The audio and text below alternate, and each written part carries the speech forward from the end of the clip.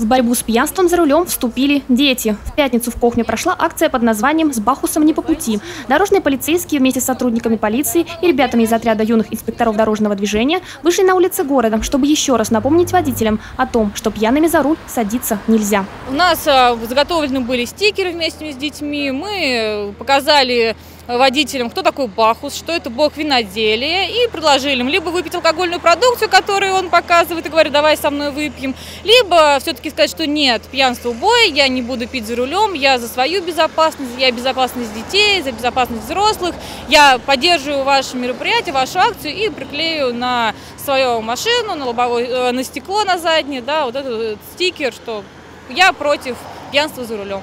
Закутанный в белую мантию бог виноделия, не стесняясь, предлагал водителям испить якобы алкогольный нектар. Но на соблазн искусителя не поддался ни один из остановленных автомобилистов. Знаете, какой Бакус? Винцо. Да, бог виноделия. Похож он на бог виноделия?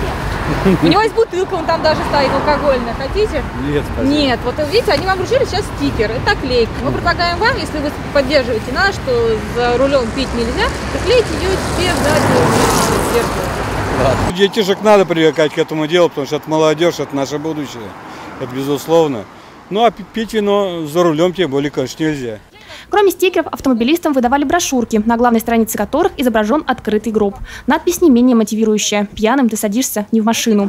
Сам бог виноделия, хоть и искушал водителей спиртным, на самом деле является ярым противником пьянства за рулем. Я как бы Бахус, который э, бог виноделия.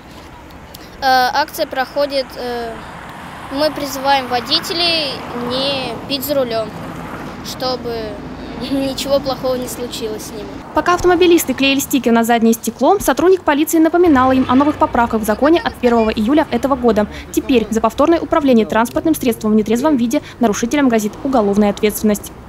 Полина Поносицкая, Денис Денисов, РТВ Иванова.